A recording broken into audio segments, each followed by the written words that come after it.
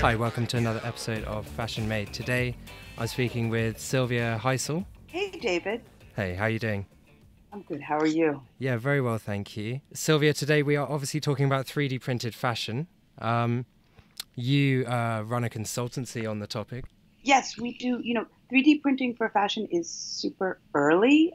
Um, I think it's a little behind most other industries. We're we're sort of lagging in 3D printing and additive manufacturing, but we see it as a super exciting area where there's a huge amount of potential for apparel, mm-hmm. and that's what we're working to develop. Fantastic. And what are the nuanced challenges within 3D printing for fashion and apparel? You know, textiles and drape is, of course, the hardest. Getting something to really to really drape is still very, very challenging and probably not ready for prime time, not ready for scale mm. yet. Um, but coming very quickly.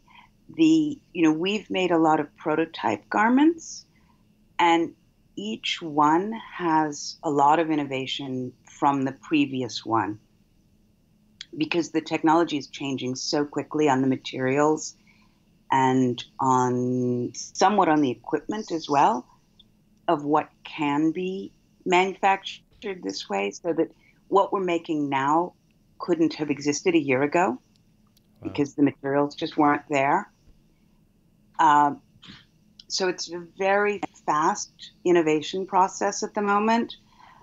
Uh, that said, it is still not, you cannot compete 3D printing a t shirt as opposed to traditional manufacturing.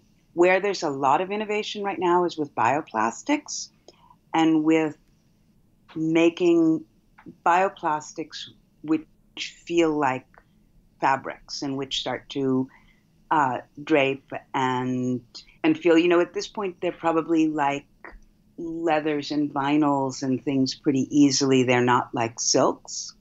But again, what we're making now couldn't have existed a year ago or two years ago.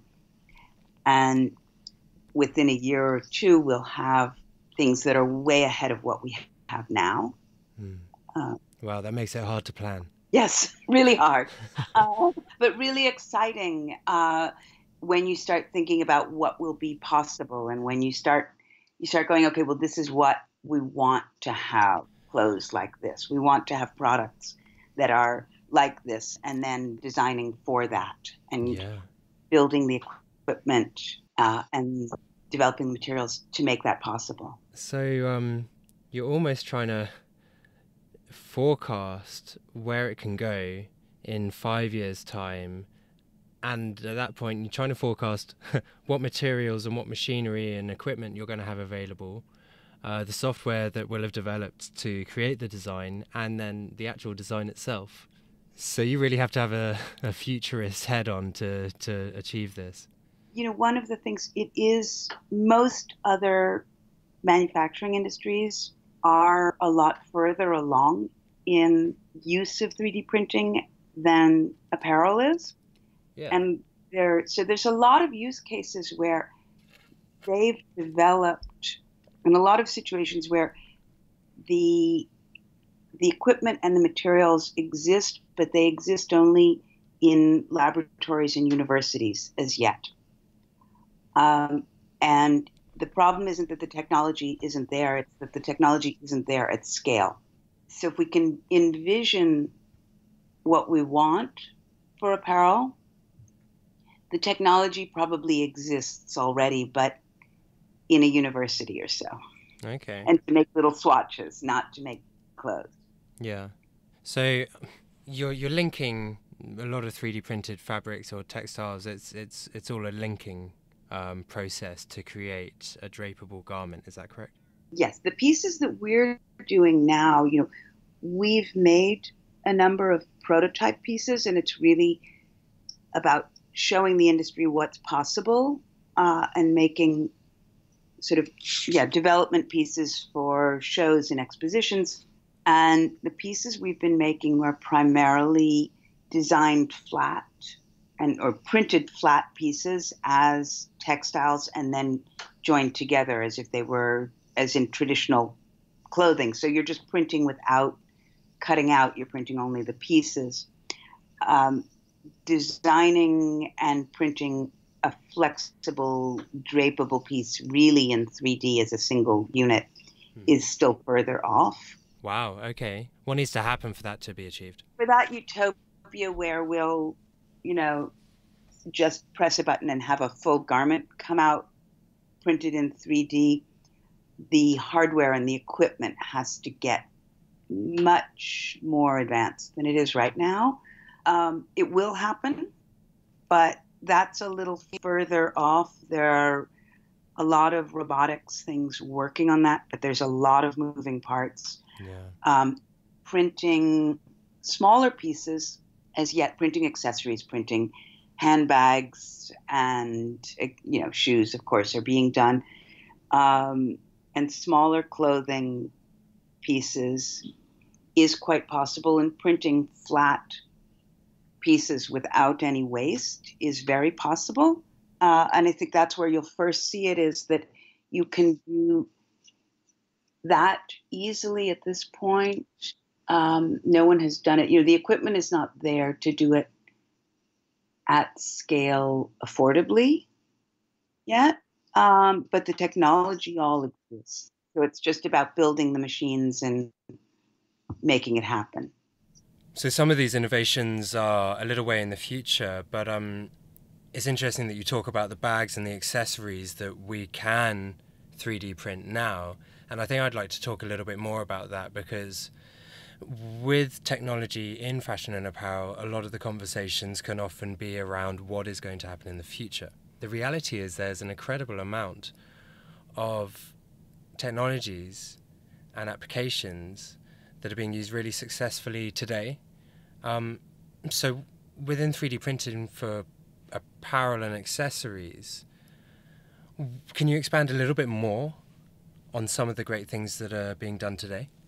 Sure. You know, a lot of companies are already using 3D printing very successfully for prototyping and for certainly on hardware and trims and and things and findings and you know buckles and branding and things on on bags and and things like that that you can really a lot of companies are already doing that of product development and you can design you can create hardware you can manufacture in small quantities for luxury goods okay. using 3D printing and then you can also design for injection molding and for items that will then be produced in a traditional manner.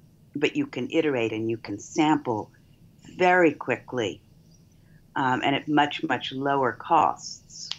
And how um, prevalent is that at the moment? We're seeing quite a lot of the uh, larger companies doing that. It's still not, you know, a lot of the factories are hesitant. Um, I wish it was much more prevalent.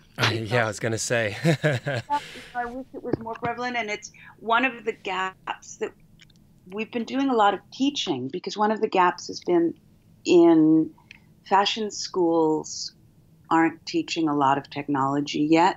So the students coming out don't necessarily know how to work with these new technologies like 3D printing that engineering students and industrial design students and students learning other manufacturing fields all come out with a lot of knowledge about how 3D printing works.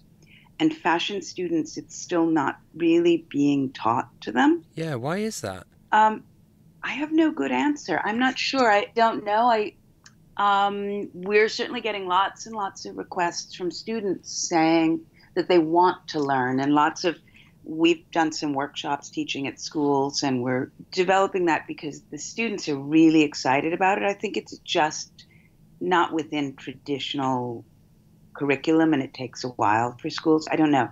So yeah, I guess the same thing applies to 3D printing, and my immediate instinct is that the 3D printing side is probably going to be behind the 3D design side, even though they tie in quite nicely with each other. They tie in really nicely. I there is there is sort of a, a little bit of a gap and and I I think a huge opportunity to connect the 3D design software with 3D printing and additive manufacturing as a manufacturing system that the when you're doing the 3D visualization software all works back to traditional pattern making, um, whereas the 3D manufacturing software is all based on design software that is really for solid products. Yeah. Uh, rather than textiles or flexible things, and and there's a gap there that represents an amazing opportunity for somebody. Yeah, who's uh, going to do it? yeah, if anybody if anybody's listening and they do. yeah, we want a piece of it. By the way.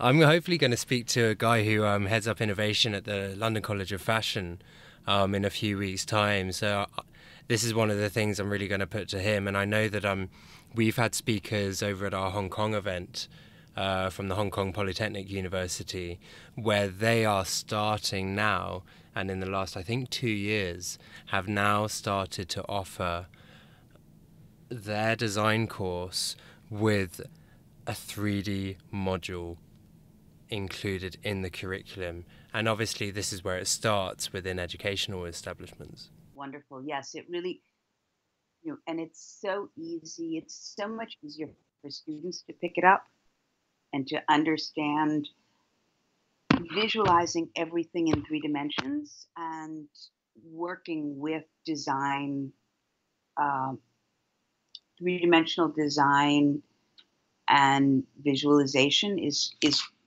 you know, it, it comes very quickly, especially if you've done any, for anyone that's grown up doing gaming of any kind or so, it it's sort of a natural for them.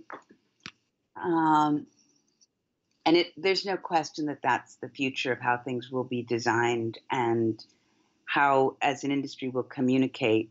You know, we're clothes are three dimensional, our bodies are three dimensional. Um, it's it's you know it's a little crazy that we still work with also that we we design still with everything flat sketches and working in some cases without data and in design software and illustrator and things that don't that don't have data and any kind of um, actual measurements attached to them. Oh, fit is obviously the number one issue that people are trying to solve now, and actually, slowly but surely, solutions are coming in. I mean, you're absolutely right. An industry that's so ubiquitous where every single person on this planet is a consumer of apparel. It's, you know, alongside food and drink. Um, if you could bottle air as well, you know, it would be along the same kind of um, lines and it's incredible that the design and development and manufacturing process for these things is um, is still largely a two-dimensional process. It's slowly changing. I mean, it is it's actually ridiculous when you think about it. um, so hopefully, you know, a consultancy like yours is going to help companies um, realize at least one side of it, which is the 3D printing side um, do you think that we're going to get to this point of designing, selling, and then making the product anytime soon? I think we're going to get there in stages. I think we aren't ready to, I think a whole product is difficult at this point to start from scratch in most, you know, in most cases. There are so many different materials and products that go into it to making a single garment or accessory that it's hard but we're seeing a lot of a lot of our projects are around partial manufacturing uh, and using 3d printing that for customizing end steps and details. Okay like so how? that, like like you order you know if you you order a suit and the suit will be three quarters made and then customized to you with the hems, the custom buttons with your monogram, some end tailoring to make it fit and shipped to you. So somewhere between 75 and 90% of that garment is pre-made, but the finishing and the fitting and the personalizing is done after you've ordered, placed the order. Okay. Uh, and that kind of thing, we're we're working on a number of projects that way, where it's about personalizing details to order and creating creating situations for that for customizing parts and accessories. Okay. Yeah. So is that a little bit like when um, I can go on one of the sport shoe manufacturers' websites and go and design it myself, but really all the requisite parts have already been made and it's just kind of finishing Yes. colours. You know, I'm not changing the structure of a product. Right, exactly. You're not, and you're not redesigning. I think, you know, everything that we've worked on, and this is not something I have data on, but just I personally observed is that most consumers don't want to design from scratch themselves. They want experts to do it. Oh yeah. What they want to have a little bit of creative input um, and a, and a little bit of a personalization of it, but not to start from scratch and create a product. Yeah, I think you're absolutely right. You know, I used to think about that kind of thing with Windows and Macs. Windows is, is a much more customizable bit of software, um, but really it can get too deep sometimes. And um, I always found the nice thing with Macs is that it was kind of set up pretty well, and you could just add a few finishing touches. And um, yeah, you know, and I think that probably same kind of ethos applies here as well. it has to be fun for the consumer. It has to be, you know, it's fashion, it's apparel. We're selling something that people should enjoy and should enjoy shopping for. Yeah. And so if you make it too difficult, it doesn't work. But if you use customization to make it fun and to make it more special, Hmm. there's this great opportunity there, I Yeah. think. And and then the fit thing also of you know, we're yeah, using, you know, the customizing at the end to tweak fit is of course a great opportunity. Absolutely. Um, how do you see the balance being when you're customizing something as variable as fit? you know so many it so much depends on what the garment is or what the fit can be anything from lengths and Yeah. you know Oh, it's a fit can be- myriad, isn't it? It's hard, hard, hard question to answer.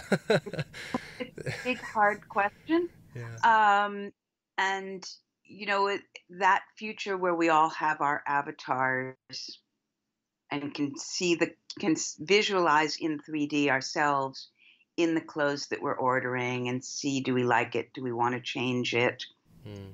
um, is going to that's still a ways away i think you know partly because you know i know my reaction when i first saw my my avatar on, from a body scan and i thought ugh you know like you just kind of get really depressed by how like small and not quite like a model it looks like and you think oh well you know Is that like? I think that's probably like the first time I heard my voice on this podcast. I thought, oh no. Yeah. Did you find it realistic when you did that? i'm not sure what realistic is i'm not sure you know we all see ourselves in such different ways and at different times and it depends on your mood and it depends on um you know when you're it's compare it to looking in a mirror in some mirrors you look great and some mirrors the lighting is horrible in the room and and it just ruins and you look and you think ugh Yeah. terrible um i think for you know certainly for more functional clothing for sportswear and things i think an avatar is fantastic that you can see things that you know how you want them to fit. Mm-hmm. You can really see, okay, this is how I want this to fit, how I want it to feel. It's a little harder when you get into more fashion items and and you're sort of looking at yeah. at it and thinking, oh, well, do I look good in that? Yeah. You mentioned something there, how it fits and how it feels, which got me thinking about the types of materials that are being used in 3D printing for fashion. Um, are there things that actually feel nice to the skin? Are things that feel nice. Uh, they feel synthetic nice rather than cashmere or silk nice. Um, you know, they are at the area we're mostly working with bioplastics.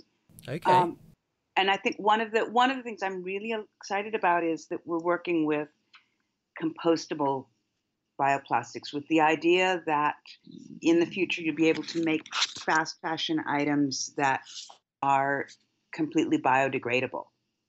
Yeah. So, you know, you you buy something you wear it a couple of times or you use it a couple of times if it's a bag or so, and then you decide you don't like it and you just toss it and it's out with the vegetable clippings and you don't feel bad about it and it doesn't wind up in an ocean somewhere messing up our planet. Yeah, yeah. Uh, this is, yeah, that's super interesting. So the sustainability side of this is massive.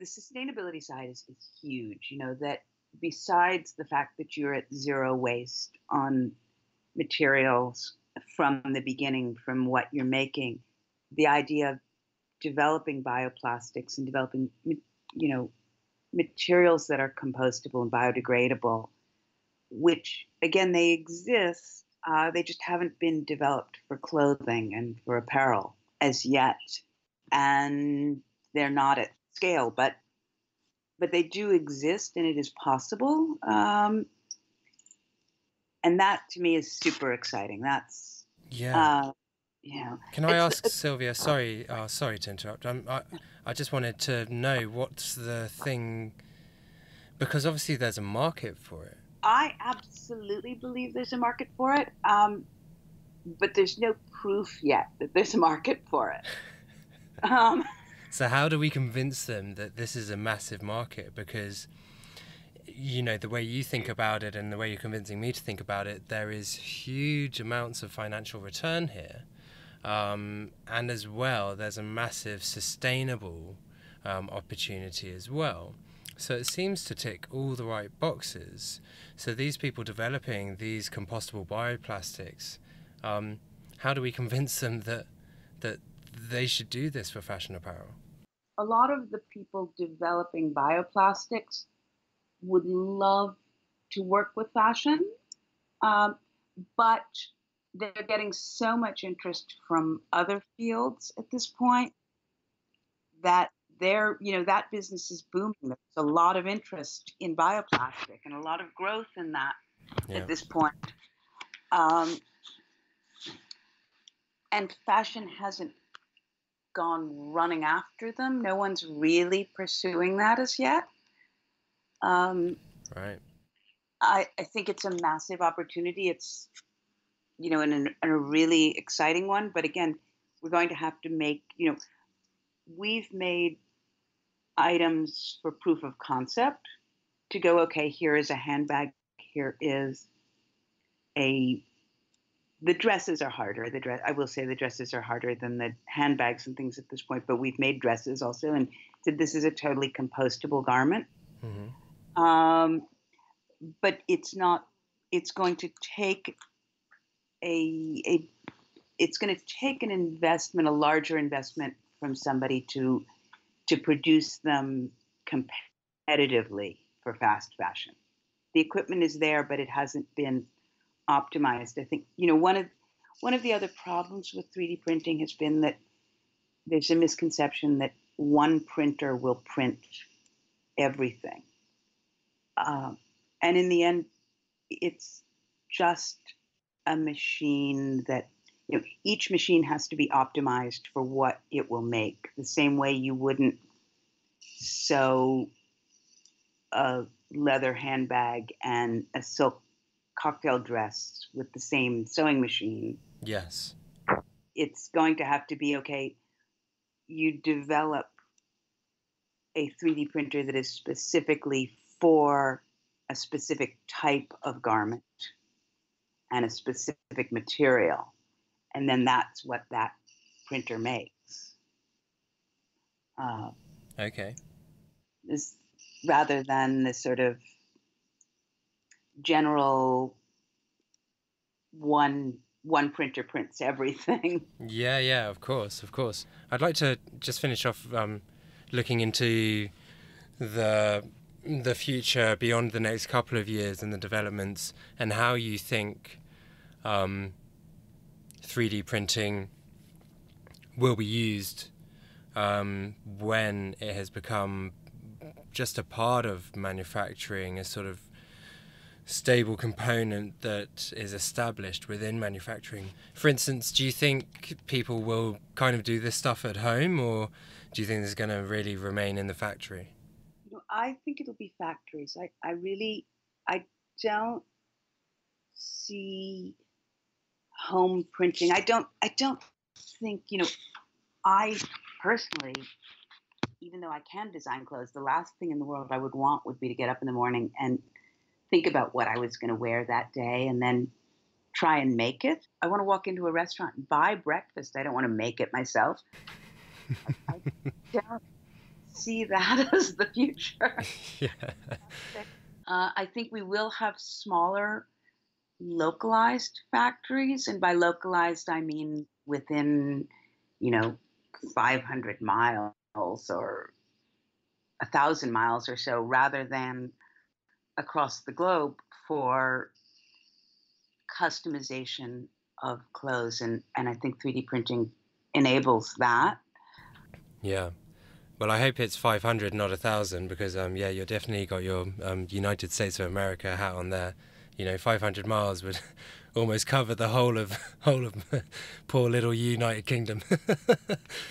um, but yes, localized factory, you know, depending on how how big a population is in a place. Uh, but yeah, but localized manufacturing and finishing, and I think 3D printing enables a lot of that. But I don't think it, you know, it's not about consumers printing at home. Yeah, I think you're right. You know, I always sort of thought, and I've heard a lot of discussions over the last few years talking about 3D printing, that the um, I'll use that word again. The utopia was would be for us to have a printer in our you know in our shed or in our garage, and you're absolutely right. It's so impractical because a who wants to design products themselves and make it themselves? You know, if you know you can go to the local store and do it, and b you would need you know, probably 20 different printers for all of the different things that you might want to print at home because, as you alluded to earlier on,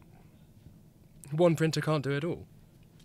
Right, one printer can't. And it, you know, desktop printers make little plastic objects. And we're really, really far away from the idea of a printer that's affordable for, you know, if we'll ever get there, of a printer, the idea that a printer that was affordable for people to have in their home that could actually print clothing, I, I don't think that's realistic. I, I think, you know, um, no, certainly not as a goal for sort of our industry now to look forward to that's achievable. No, um, absolutely not. Um, and I don't think it would, you know, it, I just don't, I don't see why anyone would as a consumer, why would you want that? Yeah. Uh, also, so why would we be working for a technology that to develop something that doesn't benefit anyone and that no one really wants? Absolutely. So, what is the next opportunity then? Sort of, what's the thing on the horizon that excites you most and that is um, maybe your goal, let's say? I think, you know, out of everything we're working on, the idea of compostable accessories to me is really exciting. The idea of, and things that are clothing using clothes and accessories that can be made from bioplastics that are fun and compostable and, and you know, fast fashion you don't have to feel guilty about. Um, and I'm really excited about that. And I'm really excited about customization also of making things being parts of garments and using 3D printing as you know more accessories and finishing touches on on clothing but really having seeing that idea of customized and semi-custom. Yeah i think when you say that you could achieve fast fashion um, with zero waste that is wow. Well that would just be something you know that would be world changing. So um hey good luck to you. Thank you. Thank you. I really really hope that you know um you can be a part of an industry that helps to achieve that because um obviously we're one of the worst polluting industries in the world right now and um fast fashion isn't completely to blame but uh, you know plays its part in that. And um if we could do something about that area, um, then we'd really be doing something. So um, yeah, as I say, really, um, really hope you can be a part of that massive change. All right. Well, thank you for coming on uh, on the show today, and um, all the best. We'll see you soon.